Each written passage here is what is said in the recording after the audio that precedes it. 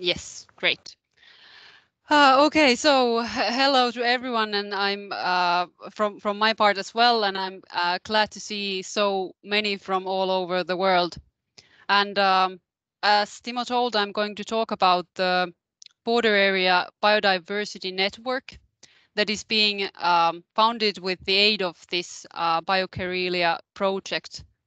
Um, so I will present the idea of the network as well as some steps on how to get um, the network uh, going.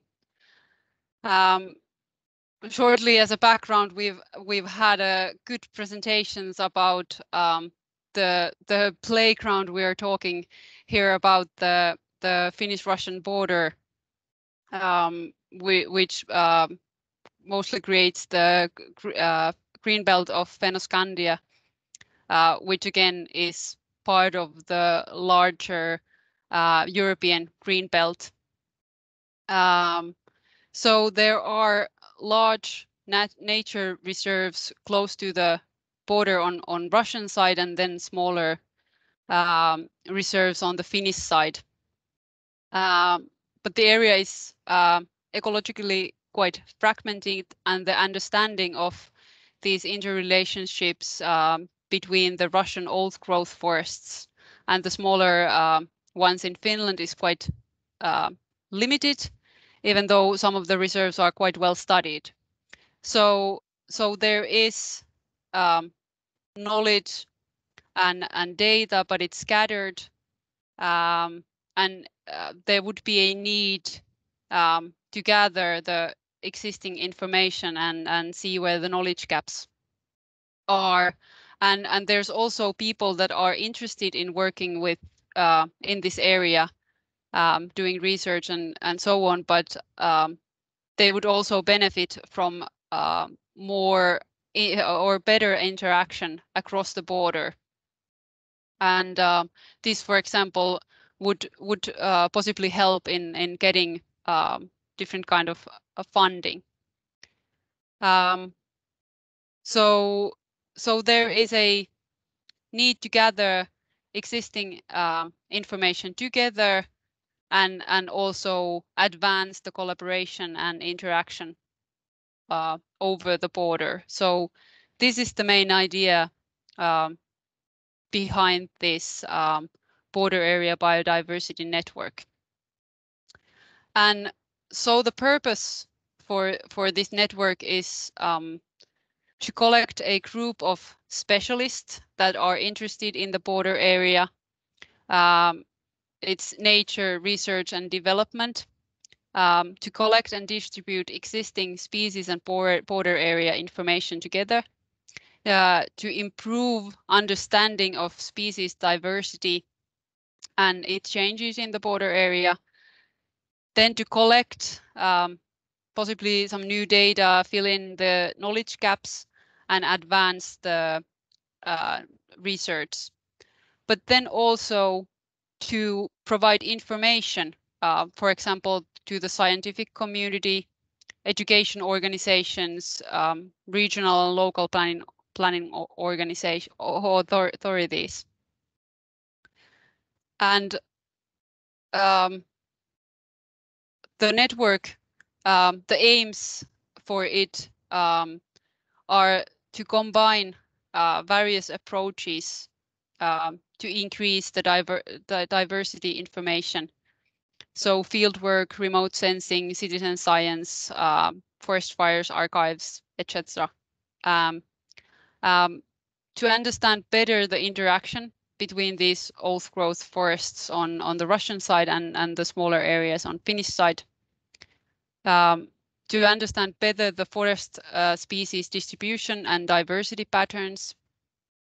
Um, to develop diversity tools for connectivity studies and regional planning and then, of course, hopefully creating new research initiatives and uh, overall raising the visibility of the border area biodiversity and, and the, all the work that has already been done uh, in this region.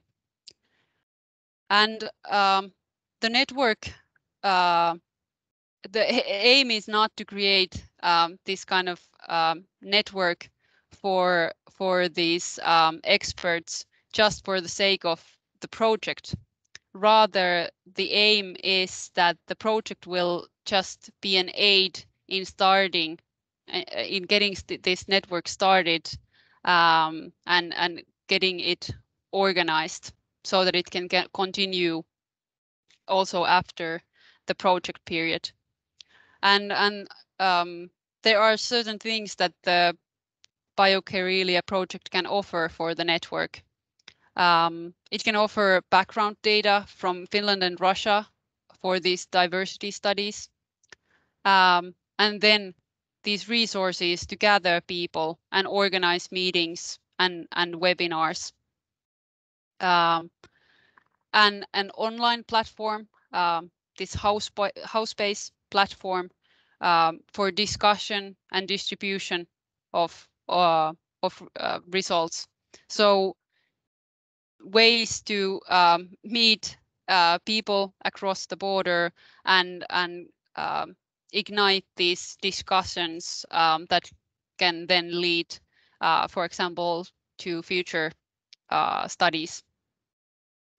And then uh, cooperation on development of maps and their distribution, and then, for example, uh, uh, creating these new research project using, for example, this EU funding.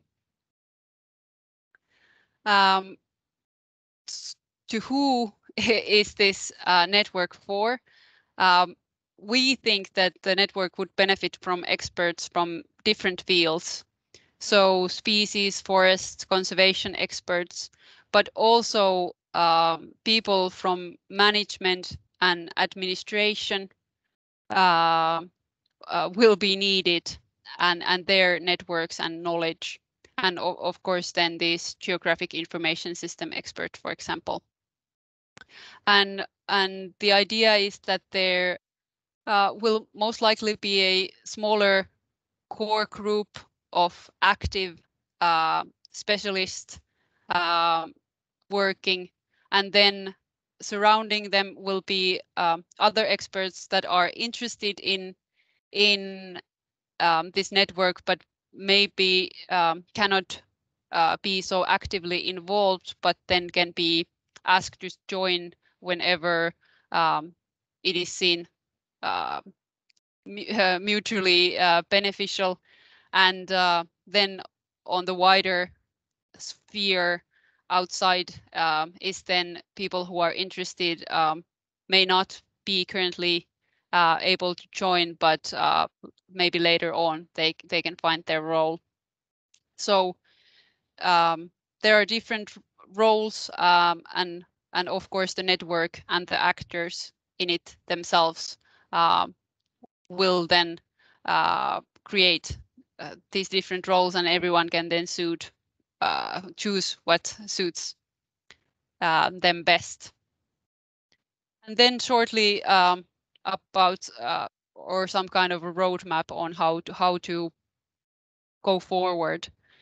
So currently we are in the first stage um, of uh, collecting this sort of uh, core group of ac active members um, the idea is is to first with a smaller group of people um,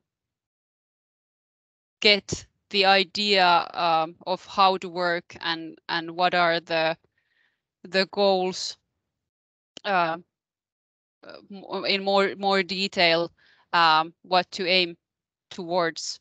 And this is happening through discussions um, with with the members um, so using this uh, HowSpace platform, small group meetings, um, networking meetings, um, and then seeing seeing like I said the the different goals on personal institutional levels, and then seeing how those go hand in hand with um, the opportunities from from this network and and the project.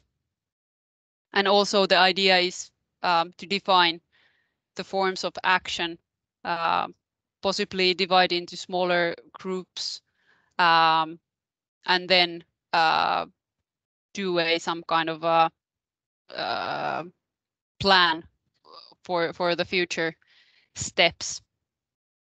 Um, then in the second stage, um, there will be uh, the the work plan uh, on how to move forward, um, and and of course uh, we hope that the network will then broaden more uh, experts will join and the network will uh, start uh, to be uh, more like a network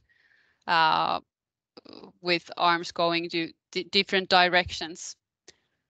And um, and then finally, on the third stage, um, we hope, like I said, that um, this network will continue uh, being active even after the BioKarelia project uh, will end um, at some stage uh, next year.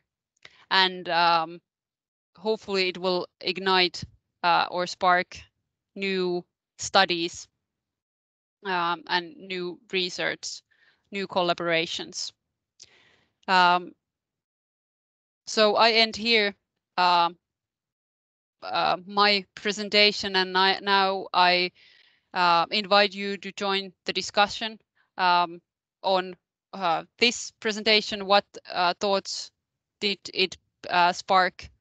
And uh, if you would like, we would be eager to hear your ideas on what kind of collaboration and networking would be needed in the border area. And, and then we can, from there on, move to the discussion on um, if you have something to ask about the previous uh, presentations or any comments on those.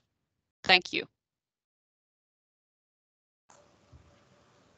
Thank you, Vilma. Now the heaviest part